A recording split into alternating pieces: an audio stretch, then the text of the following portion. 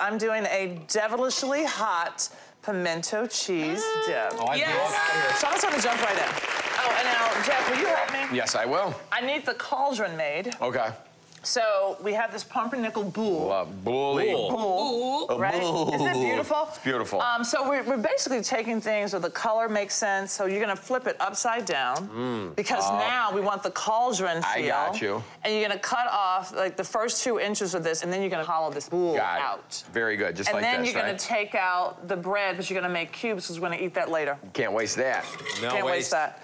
All right, so in here I have butter and onions and garlic, and I cook that on low because you don't want to burn the garlic. Yeah. And then I'm gonna start adding my spices. So I have some paprika. Um, I have some mustard powder, Yes. okay?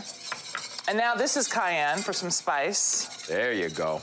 And you just putting all of these herbs in here so they can toast and, and they could just be mixed into the butter. And then I'm gonna add some salt, which I call compliments. Mm-hmm. You know, because if you don't use it, You don't get compliments. Okay. That's right. okay. Oh, I I like that, like Carla. Um, so you put in some flour because we're, we're basically gonna make a roux. So we're doing our bechamel for the cheese sauce. So I have some uh, warm milk here. I'm gradually adding the milk. Love Okay, it. last little bit in there. All right, Jeff, can you give me that cream cheese? Let's have that. Let's do it.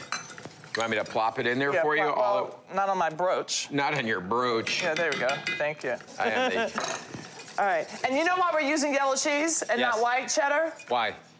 Because pimento cheese is yellow. Yeah. it always is. All right, so cheese, let's put some cheese in I here. had it as a sandwich. You ever had the pimento? Yes, pimento. Yes, on white Yes. bread. Every. It's so Seriously, simple. a little late to the party here, buddy. Let me just tell you this. If I stopped right here, I could have just mac and cheese, cheese. sauce. This, it- That's it what could that be. is, basically, Right, yeah. this is what this is. But um, I just added some pimentos, which are chopped up there. It's great. Just like canned pimentos, jarred pimentos, right? right. You want them all could- in, right? Yep.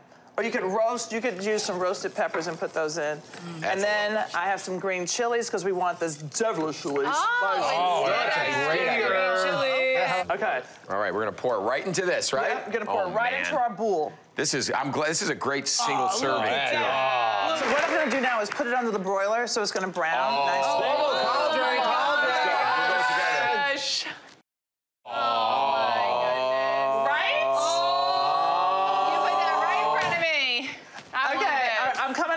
Okay, here, let's Right see. here. Oh, this okay, is I'm hot. coming over here. lift it Look at for you? this. Oh my God. Okay, so what we have done Oh my goodness. is we've taken those cubes here. They're like the logs of the campfire, Right. and then here are the flames. Coals, yeah. With the, God. Right? Carla, stop it. Too Stop cute. it Stop too cute. Oh, my gosh. This is all for Look me. at Oh, that. that's beautiful. Look at that. Should I put this in it?